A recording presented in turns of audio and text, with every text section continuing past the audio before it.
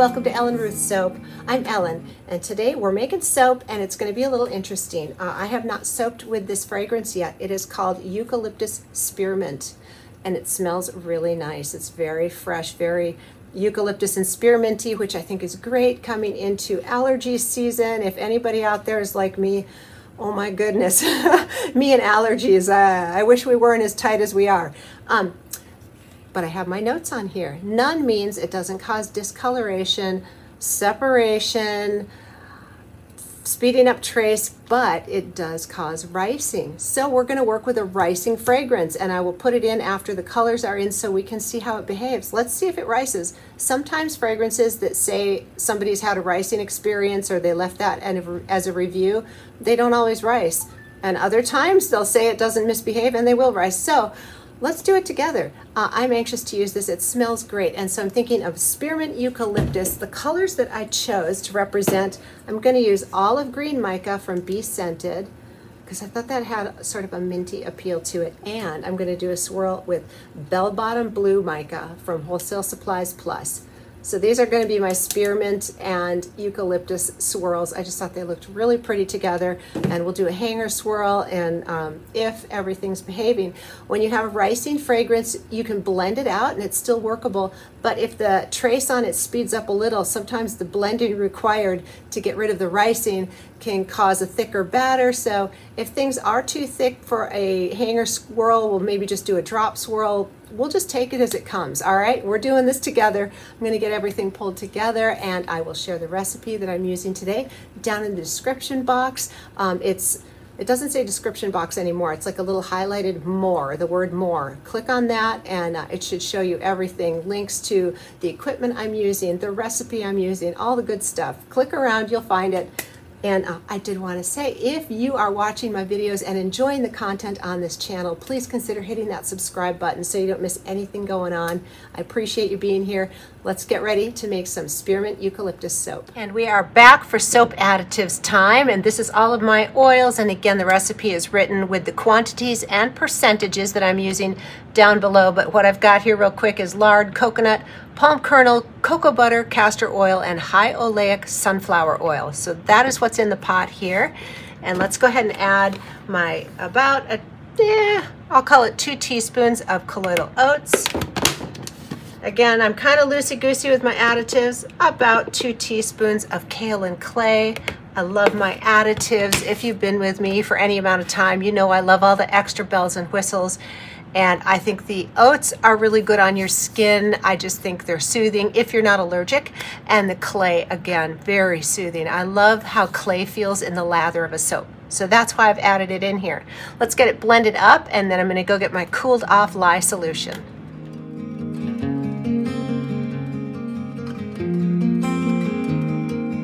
We are back with my cooled lye solution here, which does have cane sugar, tussa silk, and some sodium lactate in there to help unmold. And I have my colors dispersed in just a little bit of uh, water, distilled water, so that they'll blend really easy. I've got my fragrance off to the side, and I did look up the reviews one more time just to make sure I was, you know, reading it correctly, and uh, this is a Bath & Body Works dupe fragrance, and man, it smells good. Uh, so one of the reviews said it, they had a little bit of ricing and it didn't cause acceleration. Another reviewer did not mention the ricing, but said they had a little acceleration. So this is going to be a fun experiment. I do have my hanger here, my little uh, gear tie, this is the best little hanger tool because you can bend it to fit into whatever mold you have. Um, I get them in packs of two on Amazon and they are just a rubber coated gear tie. I love this thing. So it's off to the side in case everything's, you know, behaving well. That's what we're gonna do. All right, so I've got to quit delaying and go ahead and get my lye in here. Sometimes when I'm nervous about something, I'll sit and talk about it a lot instead of just going ahead and adding in the lye. So let's get to it. And the goal here is to get this up to a nice emulsion, a very, very light trace, and then we'll split the colors off and get the fragrance in there and see how we do.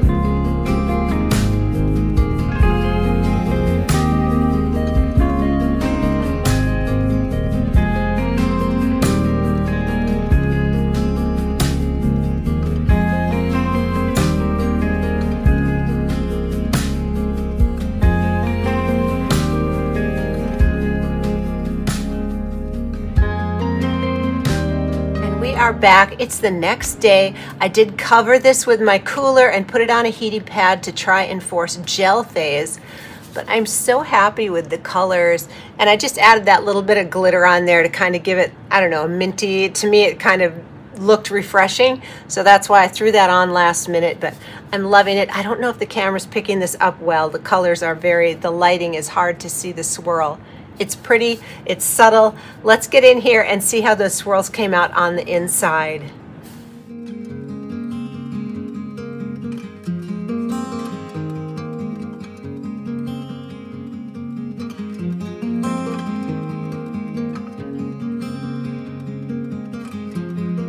All right, we're back with the lovely Olga, and I think she kind of goes along with the colors here. So let's get in here and see what we've got going on.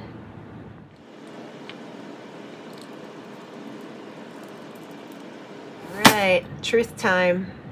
Ooh, pretty. My little end slice here. Loving that. Oh, these are very pretty. Let's talk about this fragrance that had the potential for ricing and all of that. I did not experience any issues, okay? Let's just say that it was workable. It was a nice medium. I would even say a slow trace for me. Uh, and it was pretty liquidy when I poured it and I swirled a lot and I just had no issues whatsoever. It smells very nice. It's a beautiful fragrance. And I'm not seeing any um, discoloration halo around the bar, so I don't think it is going to discolor just as advertised pretty happy with this. And these colors are really lovely. So here is the little soap flower that I poured with the extra that I had for the top. I, I didn't figure out my ounces perfectly. I had a little extra. I never mind. I love these. These are all over my house in bathrooms and by sinks and such. But this did not go through gel phase. I had this little flower sitting in the mold off to the side and the cooler went over this. And you can see a little bit of a difference in the color blue there and in the green. Let me turn it over here. So this is one of the reasons why I like to gel. This is a more muted sort of pastelish color and gelling will make a color a little more vibrant if you can pick that up. It's a subtle difference.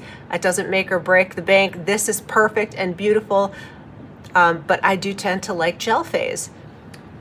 Another reason that I like gel phase is that I feel like the bars are a little firmer in 24 hours and it unmolds a little smoother and crisper. If you don't go through gel phase, you can let your soap sit for 48 hours or 72 hours. Certainly doesn't hurt the soap to sit longer, but um, it's a little bit firmer after a gel phase which uh, if you've been with me for any amount of time, you know patience is not my strong suit. So having it firm up quicker is a plus for me. Oh, I just think these are beautiful and they smell so nice.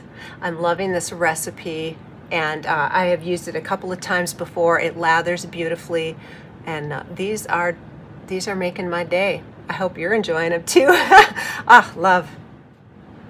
All right, well, I am going to let these sit for several hours before I come in and do my beveling and stamping like I do. And I hope you enjoyed today's video. This was fun to make. I think they are lovely and this fragrance did not misbehave. I'm so happy to report that. I tell you what, I love it when that happens. so I hope you give the recipe a try and I hope you enjoyed today's video. Have a wonderful day.